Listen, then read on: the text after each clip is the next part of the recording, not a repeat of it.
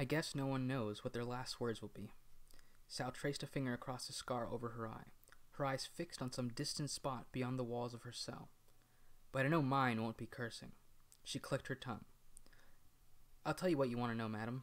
About Lowstaff, about Cavric, everything. I'll give you everything you want, and you can put a bullet in my head or cut it off or have me torn apart by birds. I won't protest. All I ask is one thing.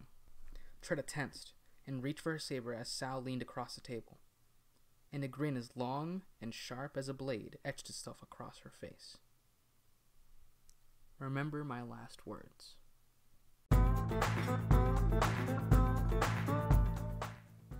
On today's Honest Review, I'll be talking about Seven Blades in Black, the first book in the Grave of Empires series by Sam Sykes.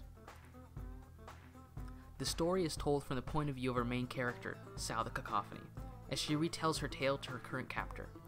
It's very over the top in its use of language and metaphors, and I like to think this is mainly because Sal's such a huge fan of opera and loves being dramatic.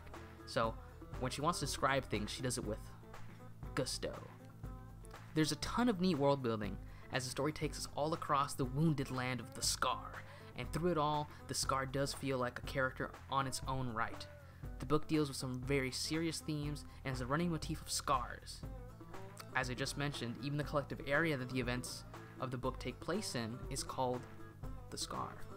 It also really touches on how deep scars can run. Sal's bloody personal war takes place in the middle of even more blood soaked war between the Imperium, a collection of regal mages who can kill you with their mind, and the Revolution, heavily militarized people who can just as easily kill you with the destructive machines of war. The dialogue is incredibly witty and fun, and also quite mean, but to be fair and honest, some of my most favorite moments, some of the moments I thought were the most powerful in the entire book, were when characters were left speechless and had nothing to say. Characters are very expressive and have central identities that really shine through the dialogue. Sal doesn't shut her trap throughout the majority of this book, so the few moments where there's a pause, where she doesn't have a witty retort, where a character drops the facade and can't be sarcastic, and that just a silence creeps in. Those are fantastic. Getting into characters and speaking of Sal, Sal is easily one of my favorite literature heroes to date, and not just because she's a totally kick ass wielder of a big ass gun in the shape of a dragon that shoots explosions, which is pretty cool at, at that point, but also because, like the other characters present in the book, she is unapologetically human. While Sal sees herself as an endless expanse of sexy wit on two legs, to the outside world, Sal is a walking collection of scars that leaves only ruin in her wake, and at point, Sal worries that that truly may be all she is. This is not a story of good guys in shining armor where the hero wins and it's a clean, happy ending.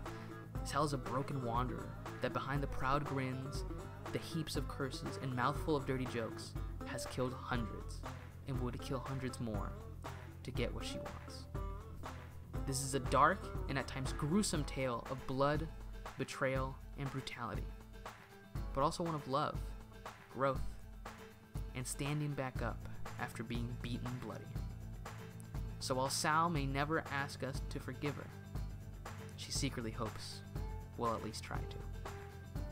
I won't really speak too much about the other characters present. I don't want to speak too much about the book overall because I thoroughly, thoroughly enjoyed it, and I don't want to take away the, the really good feeling that is discovering these characters and the, and the plot and all the twists and turns on your own. Um, but I really enjoyed all the other characters present, and even some of the side characters were really fun and really well written, really well done.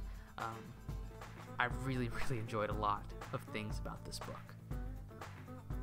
Now, as I've shown, it's not really a secret that I love this book, but honestly, it's mainly because between all the giant birds, the elemental mages, the revolutionary relics made of living stone that tear those foolish enough to impede it to shreds.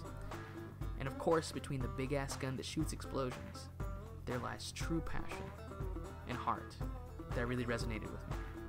And I'm really glad to have found it on accident on Twitter. But those are just my thoughts. What did everyone else think? this is the part of honest review where I'm going to go through and I'm going to do what I like to call mob or martyr. We're going to take a look at the overall reviews of the book in this case, and we'll see if my views line up with the common mob or if I'm martyred on my opinions. Right now on Amazon, where I bought the book from, it sits about at a 4.6 out of 5 on customer reviews, about 370 global ratings. So 73% of those are 5 star reviews alone. And the 3 star and below reviews end up being a whole, let's see here, 9% of the overall reviews on Amazon. And as I was looking around, the overall, what I saw was about 4 to 4.5 on average. And I think that's awesome. Um, I think it's a really, really good book, and I'm glad that it seems to be getting the recognition that I think it deserves. So, what are the things that people most seem to like about them? So, for the pros, we've got cool characters, we've got an interesting magic system, um, which I won't spoil anything about, but it's really cool.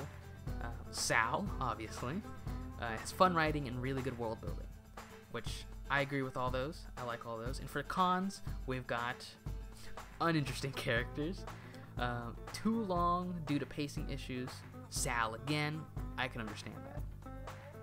And they, some people thought the book was really repetitive, right? I didn't really have this problem, but uh, I can kind of see how Sal's way of describing the story or how she retells the story, it can get kind of repetitive. So I know where they're coming from. However, obviously I don't share the opinions of the characters being interesting because I love the characters. I didn't think the book was too long. I actually like slow burns and I like um, having a lot on my hands. So I liked reading this book cover to cover, and I I did it again recently. So, and Sal being a con is honestly unsurprising. Just because I think Sal sometimes may be one of those you love her or you hate her type of characters, but I love Sal. I think Sal is super intriguing and super interesting. And I'm really looking forward to see where Sal will go from here. That's pretty much it for this honest review. It was nice, short, and sweet. I just recently reread the book in preparation for the second one, and I felt like I wanted to talk about it. I really enjoyed it. Let me know what you thought. Let me know if you've checked out the book. Let me know if you will now due to this. I really appreciate it. Take care of yourself. Have a good one. I'll see you next time. Peace out.